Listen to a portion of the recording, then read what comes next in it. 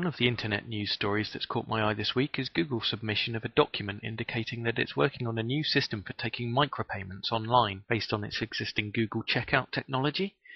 With the current credit card based payment systems, there's an administration charge on each transaction, so the merchant would probably actually lose some money if they charged your card just a tiny amount, like 5 cents, because they pay more than that to the card company to process the transaction for them. And this is why some stores won't let you pay by credit card if the transaction is below a certain minimum amount. The Google micropayment system would change all that. It would make it practical to charge tiny amounts.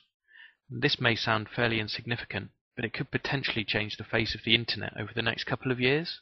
The reason for that is that currently a large amount of the content on the internet is paid for by advertising. Companies providing web content, rather than actually selling products or services, obviously need to cover their costs and ideally make a fair profit. Some online content providers, including various newspapers and magazines, offer premium content for a monthly subscription. The trouble with this, though, is that subscriptions are usually quite expensive, which means only people who will be heavily using the service, people who will be reading almost every premium article published by that newspaper or magazine, for example, are likely to subscribe. So if you're interested in a number of different newspapers and a couple of different magazines, you're probably going to have to pick just one or two to subscribe to, because subscribing to half a dozen is likely to be extremely expensive. Because subscriber numbers are kept very low by the all or nothing payment structure, a lot of the content providers are really struggling to make money. And what Google's new system would do is allow people to pay as they go, paying just a small amount for each premium article they read, maybe just a couple of cents for each one. This would enable consumers to read premium articles from dozens of websites, rather than just having to make a major financial commitment to each one through a subscription. It would also benefit the content providers because the removal of having to commit to a large subscription fee to access the content could dramatically increase the number of viewers they actually get.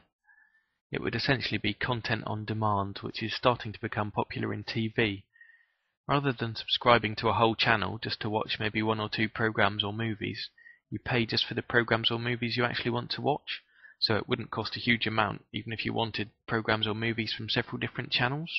It would essentially be content on demand, which is something that's starting to become popular in television.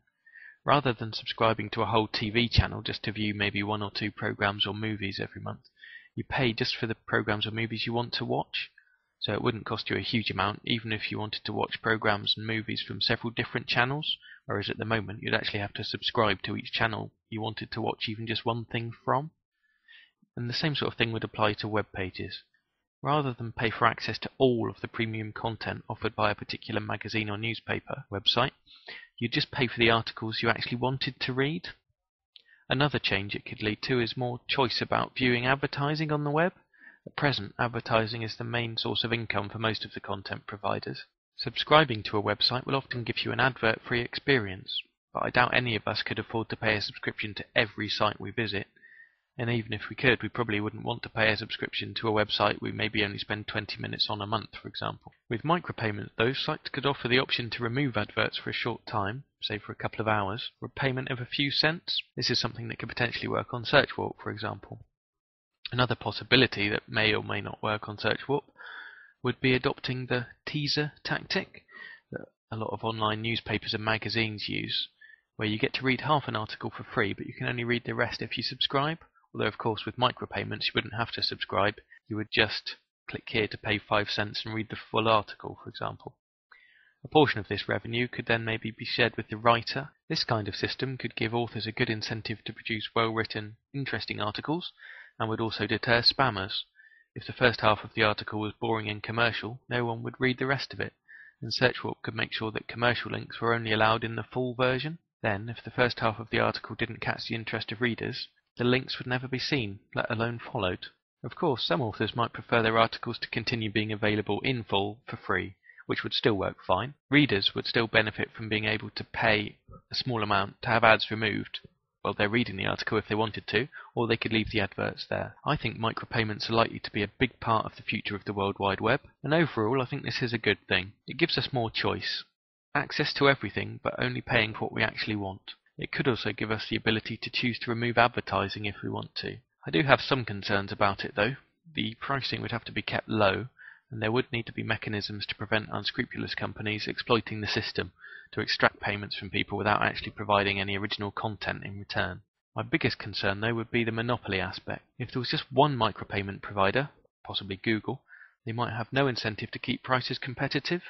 But equally, if there were dozens of micropayment providers, we could end up in the same position we are now, basically, as we'd have to make large payments to top up each of the different micropayment services with different providers, and that would really be a case of two steps forward, one step back, I think. So that's something we'd have to be careful of. Love it or hate it, I think micropayments will be here soon, and they'll be here to stay. What do you think about it? We'd love to hear your opinion on this issue, so feel free to drop us a comment over at searchwarp.com forward slash warp talk. Or if you've got a lot of thoughts on this issue, we'd love to see you write an article and express your views there. Thanks for listening.